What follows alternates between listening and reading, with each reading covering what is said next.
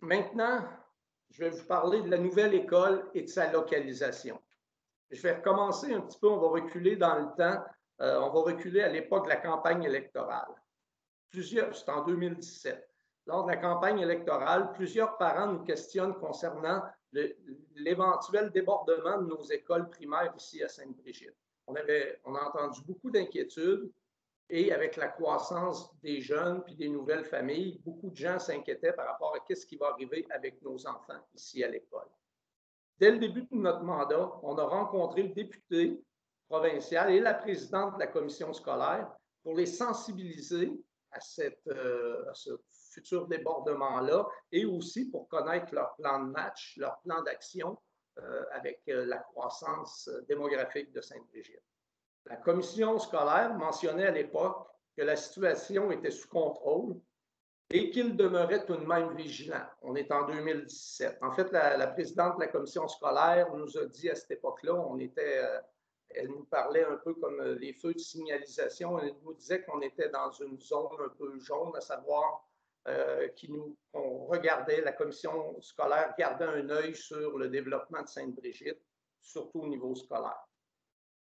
Dès ce moment-là, euh, on a annoncé à la commission scolaire que pour nous, le transport de nos jeunes euh, du primaire vers Beauport n'était pas une solution acceptable. Donc, ça a été clair, trouvons des solutions parce qu'on ne veut pas que nos jeunes de Sainte-Brigitte voyagent, entre autres, dans les écoles de Beauport.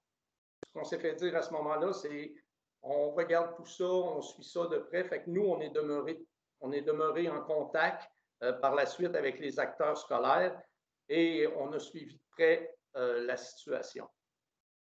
La population scolaire de Sainte-Brigitte continue de croître et l'annonce de la maternelle 4 ans a fait en sorte que même le projet d'agrandissement de l'école de Trivant, qu'on avait entendu parler à un moment donné, il y avait une possibilité d'agrandissement, donc, avec l'arrivée de la maternelle 4 ans, euh, le projet d'agrandissement ne répondait plus aux prévisions pour les prochaines années. Donc, c'était clair là qu'il fallait une nouvelle école. On nous informe donc que l'on va vers un projet de nouvelle école primaire. Quand on a cette information-là, la ville, ce qu'on doit faire, on doit donc prévoir un terrain pour construire cette école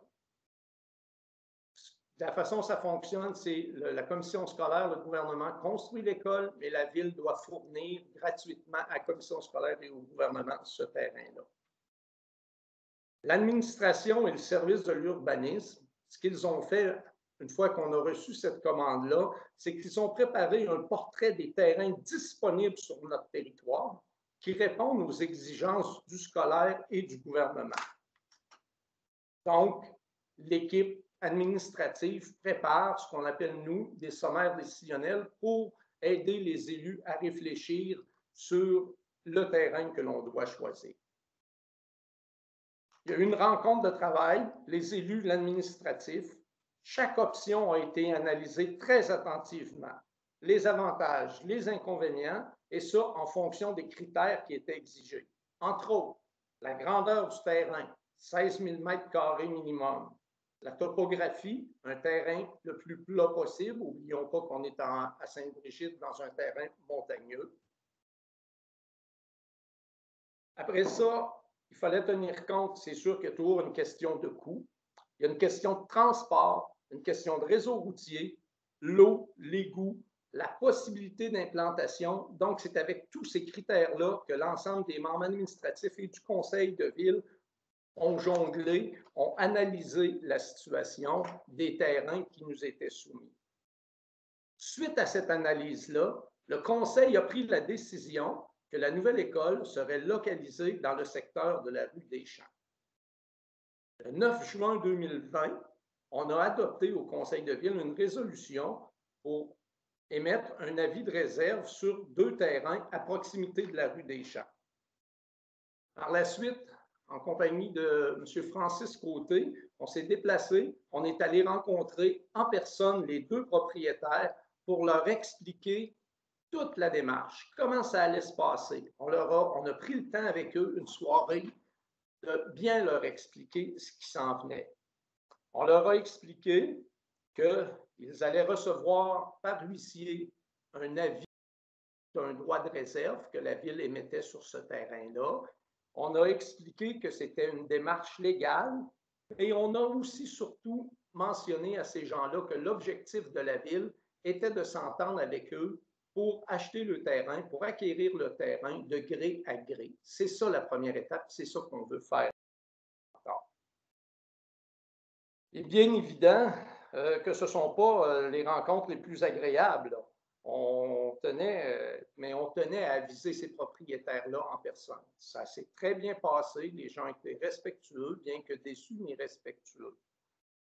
Vous savez, on a bien appris, on l'avait dit qu'on allait tenir, en tenir compte. on a bien appris l'année passée de la situation dans le parc technologique et de la rue de l'Escalade, avec ces avis de réserve-là.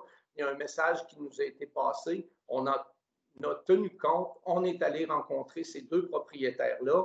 Et je peux aussi vous dire qu'on a aussi émis d'autres avis de réserve dans le cas de la recherche en eau dans le secteur nord. Et avec ma collègue, Mme Couturier, on est allé rencontrer les propriétaires aussi pour leur expliquer c'était quoi l'avis de réserve.